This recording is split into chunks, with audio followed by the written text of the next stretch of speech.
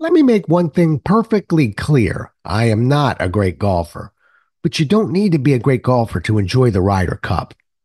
Let's have ourselves a pocket sized pep talk because a few years ago, the U.S. had a great win and a great lesson in the power of teamwork. Stay with me, and I'll be happy to tell you all about it.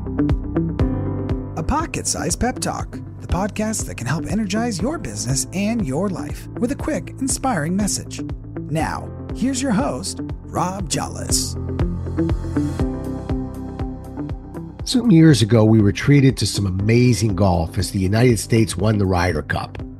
The Ryder Cup, for those who don't know, is a golf tournament played every two years, and it pits the best golfers from the United States against the best golfers from Europe in a series of head to head matches. We have lost six of the last seven Ryders Cup at that time to Team Europe that year, our team appeared to be weaker than any of the past years. So there was no reason to believe that the, this particular year was going to be any different. But that particular year was different because the U.S. didn't just win, they dominated the event. And there were three reasons why. A great quote comes to mind from the great Mark Twain. I've always loved this one. The only person that likes change is a baby with a wet diaper.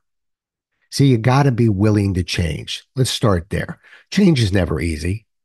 After a previous loss, when the team captain, Tom Watson, was asked what the Americans needed to do differently, he quietly said, play better. That did not sit well with the players or the fans.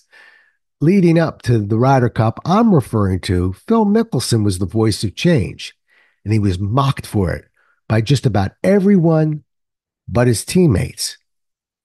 As Phil indicated, the fact is that this team didn't need to play better. They needed to plan better. How many times you've been part of a project or a task that was less than perfect, but it was done in a certain way because that's the way it's always been done and that's the way we do it. Change is not a natural instinct. It takes both leadership and courage to accomplish true change. All right, got another quote for you. Coming together is a beginning. Staying together is progress, and working together is success. You know who said that? Henry Ford. The second point that we learned was take team relationships seriously. The fact is this the American system was based on an arrogant assumption that a few very good players with weak relationships to each other would be playing for a captain they didn't necessarily know or like, and yet they'd all be expected to play well and win the tournament. Throughout the years, the American teams have always been the stronger team, at least on paper. Unfortunately, this statistical dominance translated into exactly two wins over the last 10 Ryder Cups. Teams don't succeed based on statistics. They succeed based on a collective decision making and a clear effort at team building. Coincidentally, unlike the Ryder Cup teams, this particular team of players was groomed in team competitions over a period of years instead of days. As I learned as a basketball player and then as a coach, you play how you prepare. All right, one more quote for you. Not the tools you have faith in, tools are just tools. They work or they don't work. It's the people. Steve Jobs said that. So the third point here is empower the team. In the past, Ryder Cup players had no input whatsoever on any decisions made, including who the captain of the team would be. In turn, the captain felt zero obligation to consult or explain himself on any decision he made. Now, this particular team helped choose its captain, and as opposed to other choices in the past, they chose an experienced one. As Brandt Snedeker said, we all felt invested in that. Rickie Fowler went on to say this the players were in a room helping to build something for this week. It wasn't just going to be something thrown together.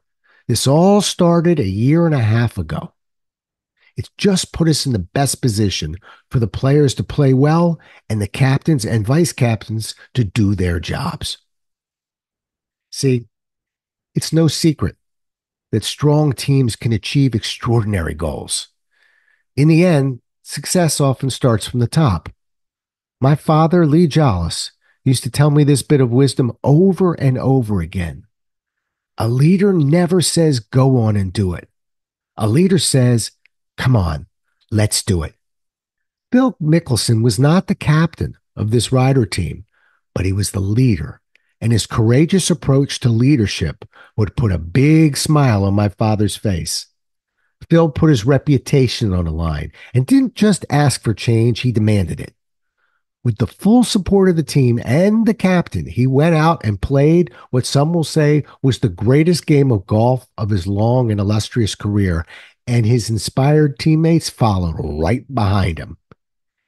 It had been 2,933 days since the U.S. team popped the corks from those champagne bottles and celebrated together as a team. With a new plan now in place, a better understanding of what it is to be a team, and a new sense of empowerment for the players, it won't be that long before they're celebrating again. Thanks so much for listening.